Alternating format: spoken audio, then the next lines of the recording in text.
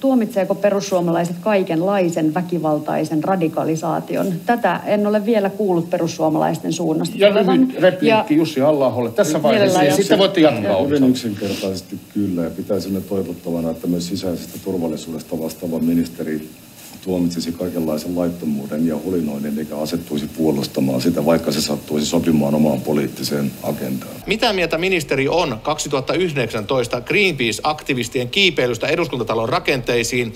Oikeus katsoi, että pylväisiin kiipeäminen oli laissa tarkoitettua tunkeutumista rakennukseen ja saatujen tietojen mukaan tapahtuman johdossa oli ammattimaisesti toiminut kansainvälinen joukko. Tämä rinnastuu tietenkin Kapitolin tapahtumiin Yhdysvalloissa.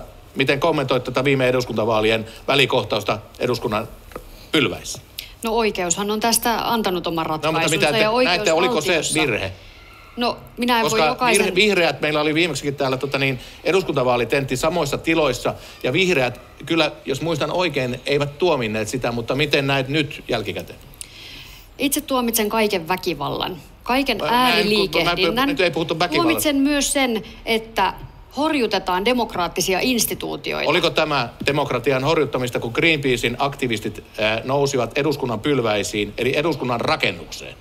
No kuten sanoin, oikeus on tästä tehnyt oman päätöksensä. Mikä teidän kantanne, herranen aika? Sitä minä... No herranen aika, minä olen poliitikko, lainsäätäjä, joka on muun muassa rikoslaista vastuussa, en vastuussa, mutta yhdessä olemme poliitikkoina no, oliko se, siitä. Siihen voi helppo vastata, että kannatatteko semmoista tekoa vai ettekö kannata. Oliko se huono juttu vai eikö se ollut huono juttu?